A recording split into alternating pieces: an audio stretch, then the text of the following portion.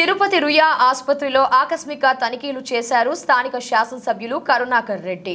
గత కొంతకాలంగా రుయా ఆసుపత్రిలో వైద్య విధానంపై విమర్శలు వస్తున్నాయి. మొన్నటికి మొన్న వెంటిలేటర్లు లేకపోవడంతో ఇద్దరు రోగులు మృతి చెందారన్న వార్త బయటకు రావడంతో రుయా ఆసుపత్రి డాక్టర్లు అప్రమత్తమయ్యారు. ఈ నేపథ్యంలోనే ఆసుపత్రిని పరిశీలించిన ఎమ్మెల్యే కరుణాకర్ రెడ్డి వైద్యులతో మాట్లాడారు. ప్రధానంగా ఆసుపత్రిలో ఉన్న ల్యాబ్ సక్రమంగా పనిచేయడం లేదని ఎమ్మెల్యే గుర్తించారు. గత ప్రభుత్వ హయాంలో నియమించబడ్డ ఓ ప్రైవేట్ సంస్థ ఆధ్వర్యంలో రుయా ఆసుపత్రిలోని ల్యాబ్ మెడికల్ షాప్ నిర్వహిస్తున్నారని ఈ సంస్థకు అక్రమంగా నలభై లక్షల మేర లబ్ధి చేకూరుతుందన్నారు కరుణాకర్ రెడ్డి.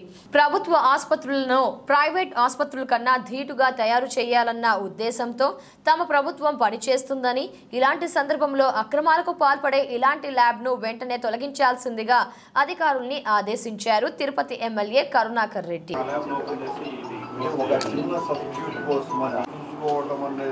చాలా చిన్న విషయం.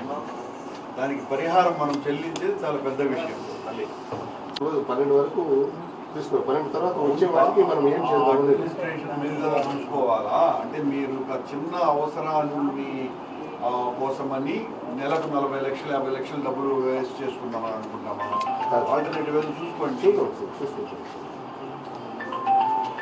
ఈ సంఘటన జరిగి పత్రికలన్నీ వచ్చి దాదాపు ఇరవై రోజులు అయింది అంటే మరో నలభై లక్షల యాభై లక్షలు పోయింది అభి హాస్పిటల్ ఎందుకు మీరు చూసుకోలేకపోయినారు? ప్రశ్న మీరు కదా స్వామి వేసింది.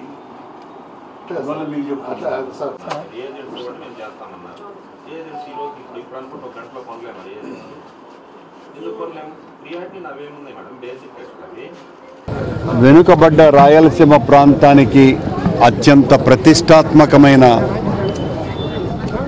ప్రభుత్వ ప్రజా వైద్యశాల రూయా ఆసుపత్రి.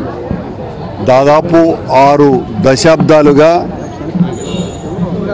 లక్షలాది మంది రోగులకు ప్రాణం పోసినటువంటి ప్రాణప్రదాయిని. ఈ రోజున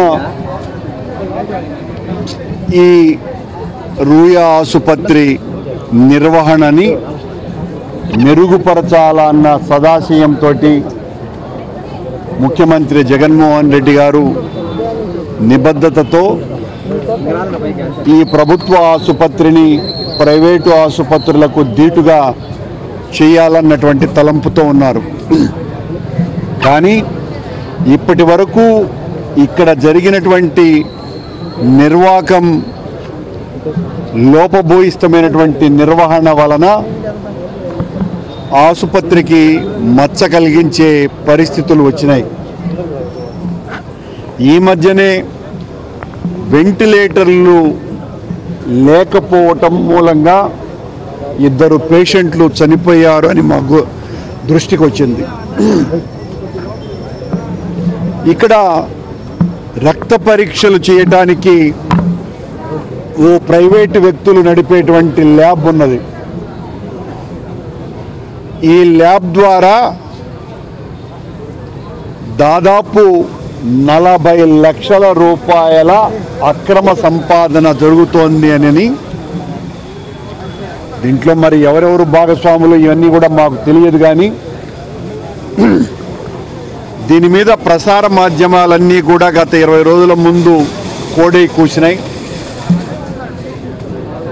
రాష్ట్రమంతా వెలసినటువంటి కే ట్యాక్స్లో భాగంగా రూయా ఆసుపత్రిలో కూడా ఈ టేక్ కే ట్యాక్స్ విభాగం వాళ్ళే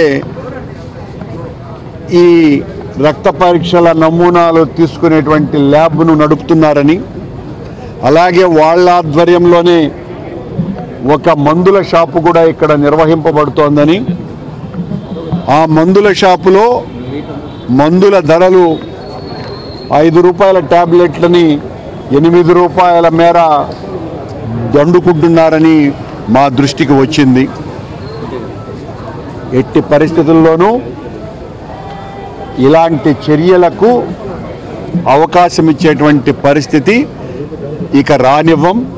ఈ రోజున సూపరింటెండెంట్ గారికి చాలా స్పష్టంగా చెప్పటం జరిగింది. ఆర్ఎంఓ గారికి చెప్పి వెంటనే ఆ ప్రైవేట్ ల్యాబ్ను వెంటనే మూసివేయమని మేము ఆదేశాలని ఇవ్వటం జరిగింది. ఈ ఆసుపత్రిలో నేను విద్యార్థి నాయకుడిగా ఉన్నప్పుడు నాకు జ్వరం వస్తే ఎనిమిది రోజుల పాటు ఇన్పేషెంట్గా ఉన్నాను అంటే ఆ రోజులలో ఈ ఆసుపత్రి నిర్వహణ ఎంత గొప్పగా ఉండేదో నా చిన్నతనమంతా ఏ జబ్బులు వచ్చినా ఈ ఆసుపత్రిలోనే ఈ ఆసుపత్రిలో ఏపీసీ ట్యాబ్లెట్ల నుండి అంతకు పూర్వం రంగునీళ్ళు జబ్బులకు ఇచ్చేటువంటి రోజుల నుంచి కూడా ఈ ఆసుపత్రి వ్యవహారాలన్నీ నాకు తెలిసినటువంటి వ్యక్తిగా ఈ ఆసుపత్రిని బాగుపరచడానికి చిత్తశుద్ధితో పనిచేస్తామని తెలియజేస్తున్నాం.